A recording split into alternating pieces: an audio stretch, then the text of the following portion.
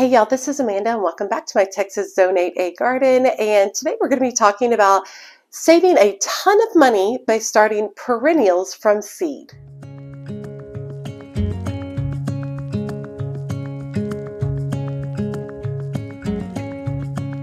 Now, those of you who have followed me know that I kind of run back and forth on a teeter totter of saving money versus finding really good deals. And one of the best ways to save on your gardening experience is to start lots of plants by seed.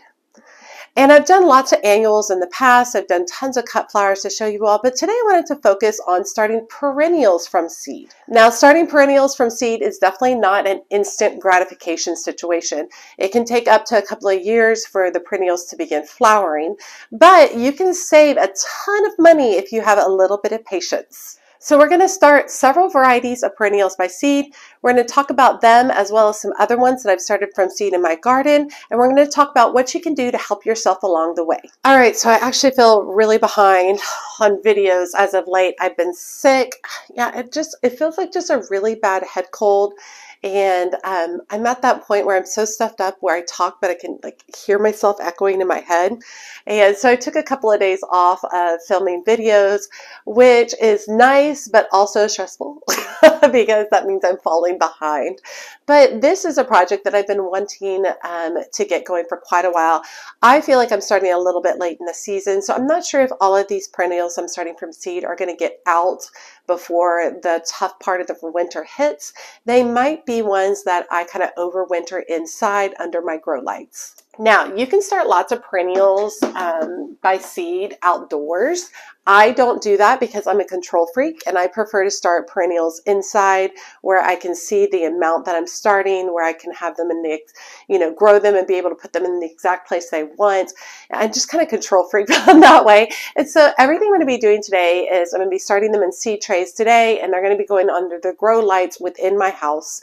Like I said, I'm starting kind of late. I probably should have started at the beginning of September and now we're kind of mid to end of September. And um, perennials take a lot longer to really get going. They really don't pick up as fast on growing as other things like annuals do. Um, zinnias, which is an annual, are so satisfying because they grow so quickly. That is not going to be the case for the perennials. I'm going to be in it for a long haul.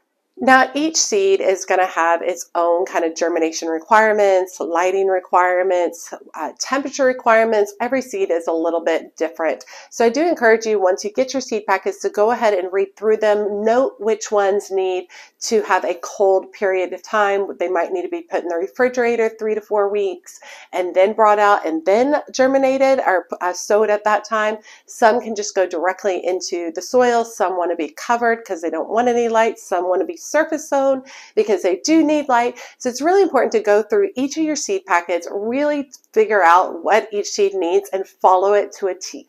Now, perennials are something that I've definitely been focusing more on in my garden. I started a true perennial bed on the side of the house, and I've been working more and more perennials throughout my garden.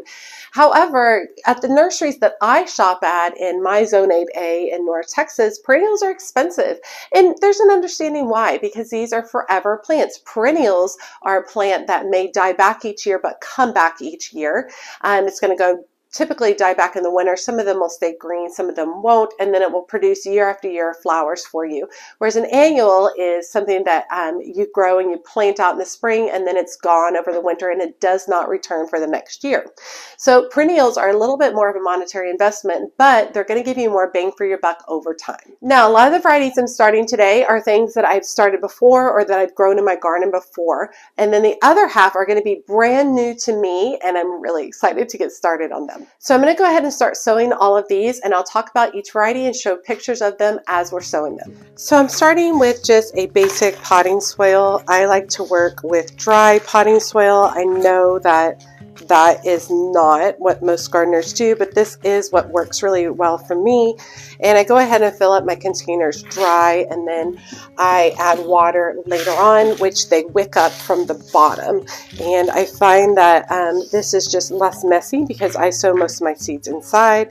And then I think it also works really well for the um, process. You can certainly use a seed starting mix, and I do sometimes as well, especially when I'm starting really small seeds, something like Lisianthus. Um, but most of the time I just use a basic potting soil.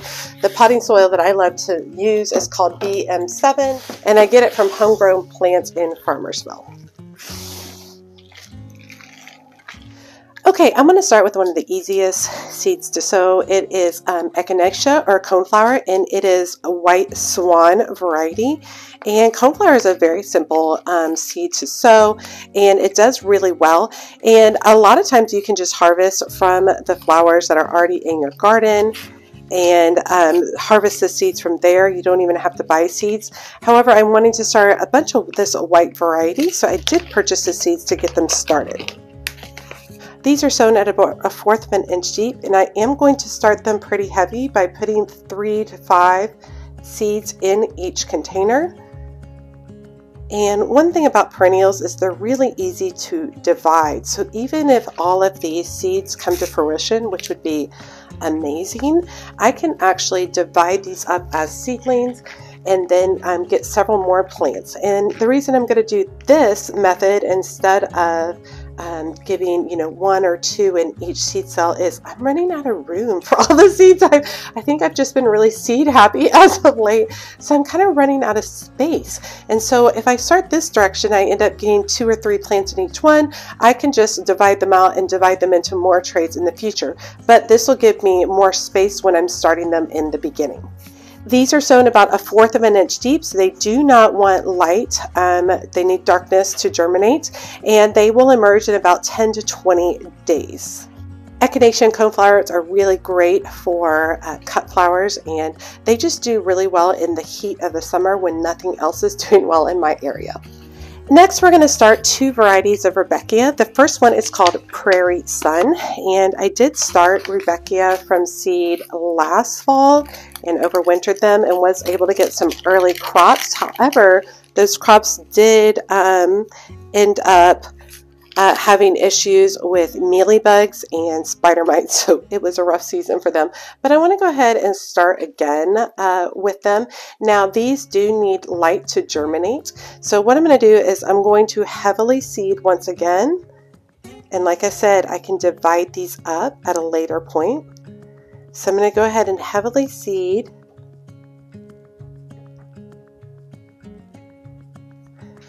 Just like that. And there's probably like 8 to 10 seeds in each of those seed cells. And I'm doing this once again to save space for myself. And then as they get bigger, I can divide them up. And I am going to go ahead and press these down to make sure they have really great contact with the soil. I'm not going to cover them up. Um, the only reason I would really cover them up right now is if they were outside and there was going to be an issue with um, them blowing away and such. But since we've got these inside, they should be great right on their surface. And once again, I will bottom water these and all of the soil will get nice and moist. Now this Prairie Sun Rudbeckia is about 28 to 32 inches tall. It's a tender perennial in zones 9 through 10 best grown as an annual is what it's saying, but these did overwinter for me really, really well. Um, so we're going to go ahead and give it another try. The next variety of Rudbeckia that we're going to try is called a caramel mix. And these are about 20 inch tall, uh, tall plants. So they're a lot shorter. And I only have about 25 seeds. This particular variety is from uh, Swallowtail Garden Seeds. And let's see, it says that the germination is about two to three weeks. They do not need to be covered, so they do need light for germination. And I'm going to go ahead and use all 25 of these seeds.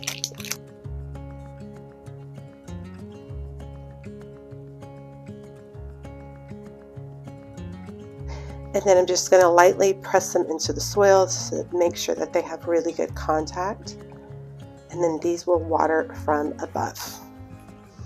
Okay, next I'm going to start some Scabiosa. I have grown these from seed before.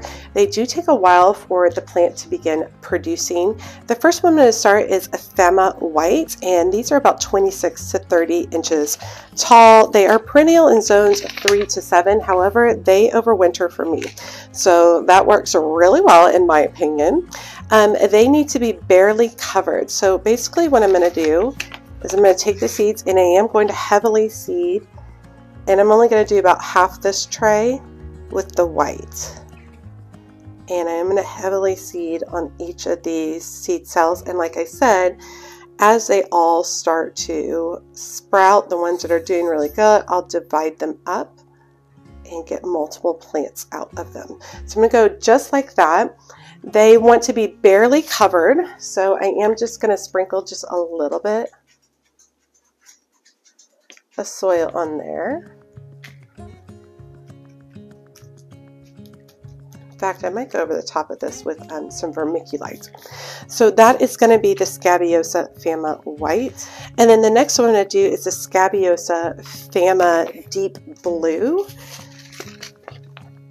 And this guy is about 26 to 30 inches tall as well. It says it's only a perennial in zones 3 through 7. I have found that it overwinters in my particular zone. And once again, it wants to be barely covered as well. So I'm going to heavily seed each of these seed cells. And the heavy seeding is very different from me. Typically, I only do two to three in a um, cell, but like I said, I'm just trying to do take a little bit of a different approach because I am a home gardener and I don't have a ton of room in my house. So let me grab some vermiculite. And it, we're just going to sprinkle the vermiculite over the top of it just to kind of weight these down a little bit, but also keep a lot of moisture up there at the top. The next one we're going to start is called Zulu Warrior, and this is brand new to me. And it's supposed to be, it's winter hardy to zone 6, so it's actually supposed to be a perennial for me. So I'm kind of excited. This is very different. It said it's a magnificent, magnificent 3 inch single dahlia like smoky lavender flowers with dark purple centers bloom quickly the first year from seed atop three foot flower stalks, which are heavily armored with spiky wing like modified leaves. Um, the silvery leaves can reach two feet in diameter and are covered in silky, white silky webbing. So, very cool. It's supposed to be great as a cut flower and great in dried um, arrangements. And the packet only has 10 seeds. They need to be lightly covered, but they do need light for germination. So, we are going to be surface sowing these as well. And we are going to go ahead and sow all 10 seats.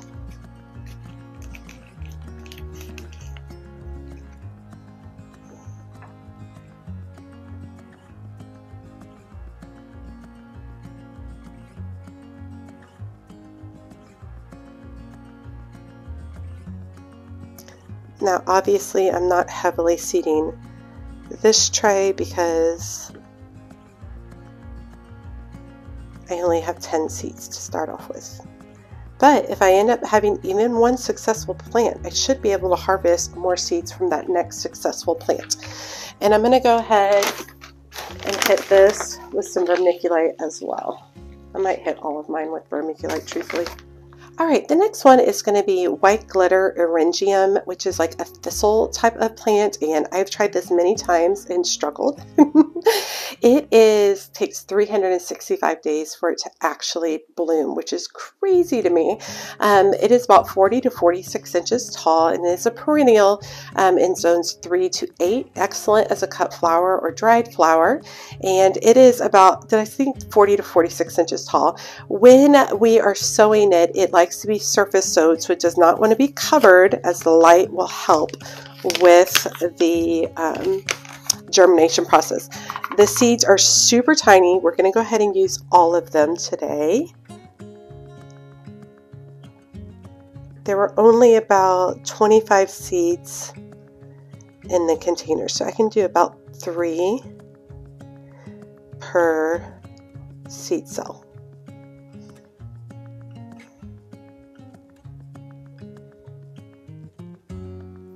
All right, and I'm just going to lightly press those down. This soil right here is a little moist. This is one of the reasons I don't like to work with the moist is because it just sticks to my, the seeds stick to my fingers when I press them down. So we've got that going right there. We'll go ahead and add some vermiculite as well. Okay, and the last variety I'm going to be starting today is a Veronica, and this is called a sightseeing mixture. It is from uh, Swallowtail Garden uh, Seeds.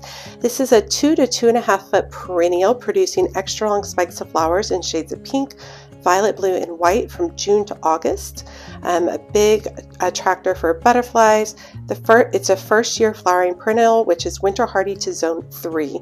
And this packet has 50 cells.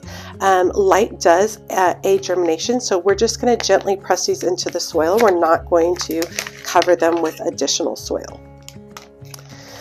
And I've grown a lot of the Veronica or Speedwell, um, as it's also known, that is from um, Proven Winners, and it always does really poorly for me. Um, so I thought I really would like to have it as a cut flower, so I thought I might go back to a more traditional approach, starting these by seed. Now these are tiny, tiny, so I am not going to be using my fingers to press these in because most likely they will come away on my fingers as specks of dirt, specks of soil. So I'm just going to go ahead and work these right on top. A few more left in here.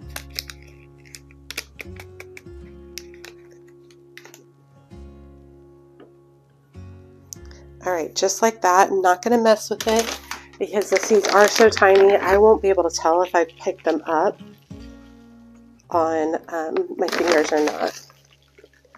So we'll top it with some more vermiculite. And vermiculite is not required. I have felt that since I've begun using it, I get better germination. And what it does is it soak up, soaks up water and keeps water um, moisture right at the top, which is really great for starting brand new seeds. Okay, so at this point, it is time to start um, adding moisture to the situation. So these are my Amazon seed starting trays I, that I love so much. They are linked in my Amazon storefront below. Um, they have quickly become my favorite. And I'm going to go ahead and add water about halfway up in the container. and then just put my seeds in there and they will soak up the water and then I'm going to put the domes on for humidity. And I want to make sure that my domes are closed to keep all the humidity in.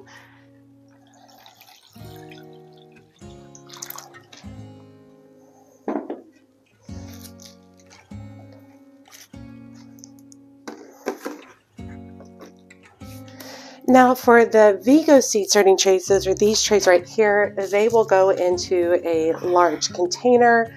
Um, that kind of a reservoir to hold the water. I will not be ordering more Vigo seed starting trays because it, in realization they didn't come with their original container. I had to buy that. You have to buy all the pieces separately and it just wasn't really working for me. And I found the Amazon ones have held up really, really well and are much less expensive. Now, I'm not getting rid of these Vigo containers. I think they work really great. I just found a better option for myself. I do think these Vigo containers are really good for starting things such that need a deep root system, such as sweet peas. All right, and I'm going to do that. And then the next thing I'm going to do is I'm going to go ahead and just fill this up with water and allow it some time for these to soak up. Okay, I do want to give you a little bit of update. Now, for those of you who noticed, this is my old seed starting station. And then at the beginning of this year, I started this situation over here. And I am going to continue to expand on this. This has worked really well as my plants have gotten larger and I'm going to be adding an additional shelf here.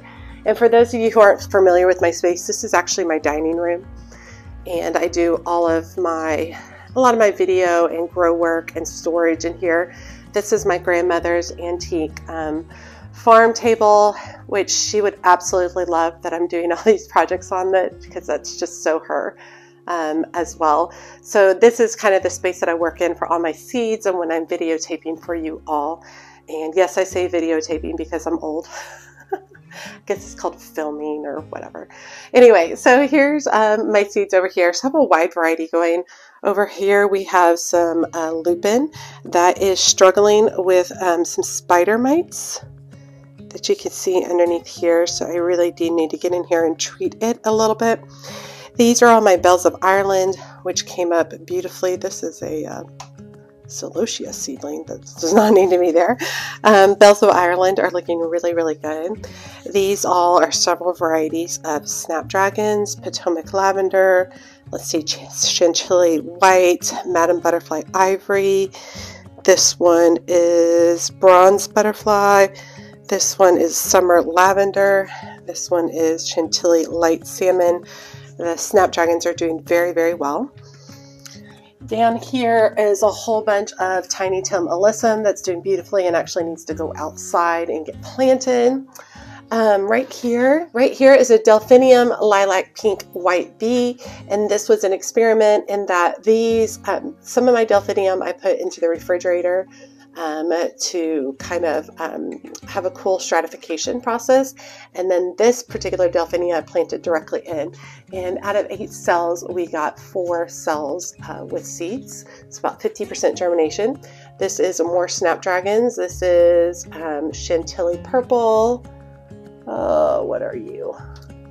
Butterfly white with uh, butterfly blondes with uh, bronze with white and Potomac royal.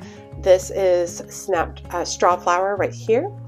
More snapdragons, Costa apricot and Costa silver. In the back, Costa silver did not have as good a germination, and for some reason, half of them are really short and half of them are really tall, which is very interesting. Down here we have some sweet peas. This is sweet pea April in Paris. They really need to get outside. Um, and this is sweet pea mermaid dreams. And then over here we have Lisianthus Voyage to First Love, which had great germination. And then over here um, we have Rosanne Black Pearl, which only had four germinate. And then I have a Rosanne Echo, excuse me, Lisianthus Echo White, and only had one germinate from that. This is more Bells of Ireland. This is Foxglove and Foxglove Camelot Mix. Over here is Godetia. Um, these really need to get outside too. and more straw flower over here. I have lots of stuff that needs to get outside. Over here are all my violas and pansies that I started for winter sowing, and these all need to be um, potted up. So they need to go to bigger containers, but they're all doing really beautiful. There's 12 cells in each of these little containers. So everybody's doing really good. I even saw one the other day. Oh yeah, here's one that actually had a little flower. So that's exciting. That one was Cool Summer Violas. And um, they're all looking really, really nice. And they will be going outside in about five to six weeks. And then up here is the other delphinium.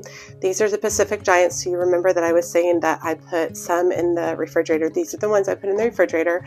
And I did have better germination on these than I did on the other variety. I would say about 75% germination um, on these. So they're all doing pretty good.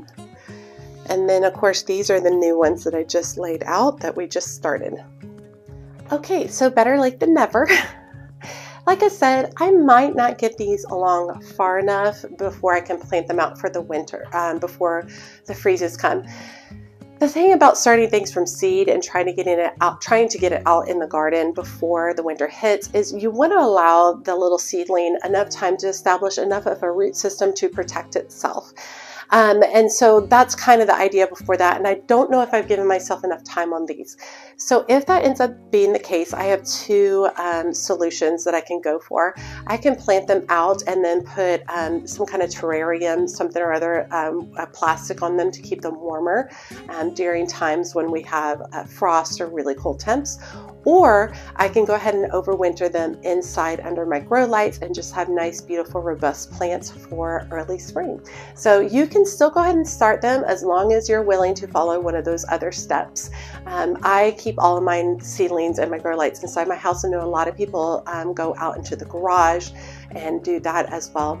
I'm just not wanting these to go quote unquote dormant right away before they've had enough time to establish some really great root systems, which are what's really important for perennials to survive throughout the winter and hot summers. All right, let me know what perennials you have started from seed or what perennials you have considered starting from seed. If you have any suggestions regarding the eight varieties that I started today, if you've grown them before, if um, some particular processes work better for germination let me know. Share your knowledge. And that's one of my favorite things about doing this channel is learning from you all. I would say at this point, I'm probably learning 60% of everything I'm learning about gardening is coming from you all and your comments on each of my videos. All right, you all, as always, make sure you hit that subscribe button and that notification bell so you know when my latest videos are up. And be sure to check me out on Facebook, Instagram, and TikTok.